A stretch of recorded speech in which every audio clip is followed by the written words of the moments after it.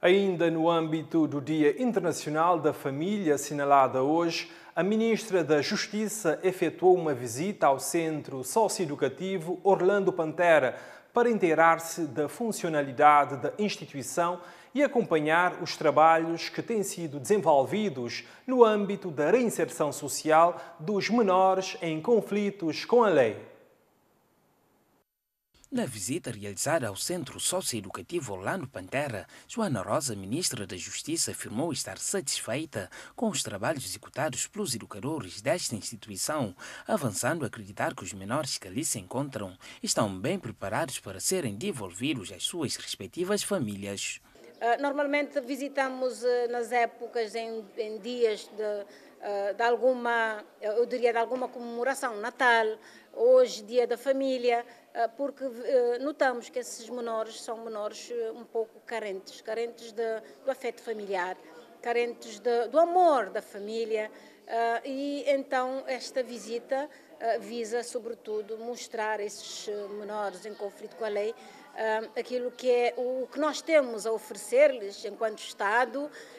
mas nunca substituindo o papel da família.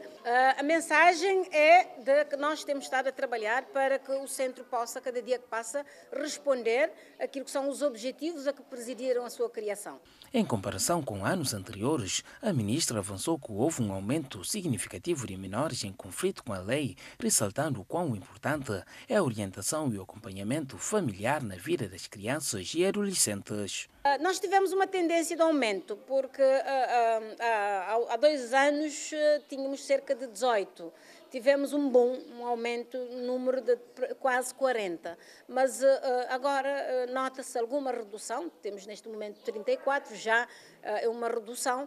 mas há um trabalho que também tem que ser feito, que está a ser feito, eu diria por várias entidades, não só o Ministério da Justiça, mas o Ministério da Família e Inclusão Social. Como sabem, esses menores, muitos passaram pelos centros do ICA e até, há um ciclo de vida que acabam por eh, adquirir e que nós queremos é cortar este ciclo de vida. Por sua vez, o diretor do Centro Socioeducativo Orlando Pantera, que conta com pouco mais de quatro meses de liderança, afirmou que tem sido trabalhado vários aspectos que futuramente vão ajudar os que ali se encontram no processo de reinserção social. Normalmente é feito programas uh, socioeducativos uh, principalmente na área de ensino básico e secundário. Também tem programas uh, desportivos e uh, tem programas recreativos e programas também relacionados com palestras motivacionais, conversas abertas com profissionais de diferentes áreas, que no sentido de motivar-se a enveredar para uma área profissional ou seja, o objetivo é fazer com que eles tenham esperança num futuro melhor. Atualmente, o Centro Socioeducativo Orlando Pantera conta com 34 menores, todos do sexo masculino, da maioria das ilhas, com exceção do Maio e da Boa Vista.